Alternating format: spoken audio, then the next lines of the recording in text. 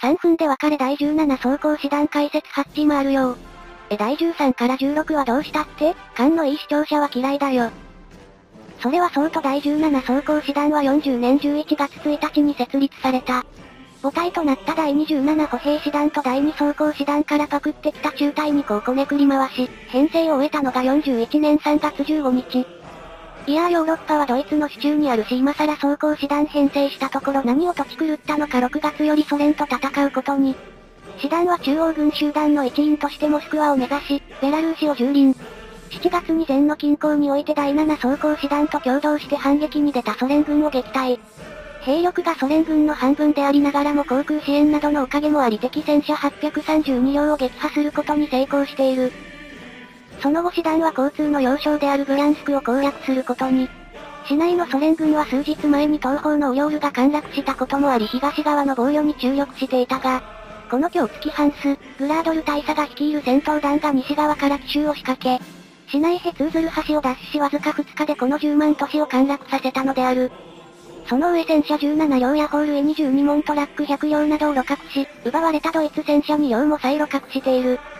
さらにさらに驚くべきことにこの戦果を挙げた戦闘団の戦力はわずか戦車13両、歩兵1個中隊弱、高射砲2門である。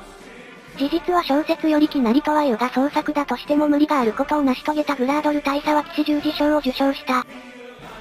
それはさておき言わずもがなモスクワは陥落しなかったので師団はオヨール近郊にてソ連の反撃を受け持つことに。保有戦車数を4分の1に減らしながらも頑強に抵抗し、統治を維持したが、第6軍がやらかしたせいで救援作戦に駆り出されることに。まあ皆さんご存知の通り作戦は失敗したが師団は大損害を被り所有戦車数がわずか8両に。もう第17装甲小隊に改名した方がいいのではと思うが、世の中には戦車9両でソ連1個戦車軍団を包囲殲滅した師団がいるから平気平気。さすがにこれじゃまずいので43年1月末に4号戦車50両を受領。ただこれもすぐに消耗し2月末には稼働戦車数6両まで減少。なんとか西方に撤退したがクルスクには参加せず、小規模な攻撃を行っただけであった。戦線が崩壊すると師団は撤退する友軍のしんがりを務めることに、どっかからパクってきた T34 を含む70両足らずの戦車で攻撃を退けていた。ただ奮戦虚しく44年初頭に多数の師団と共に包囲される。空ベ上級大将の指揮のおかげもあり重装備を失ったものの少ない損害で脱出に成功。ただでさえ少ない戦車が完全に消滅したため補充を受けるまで師団は予備役送りに。11月にパンターを含む80両の戦車を受領するも空爆でほとんど破壊され、師団の兵力は連隊規模までに低下することに。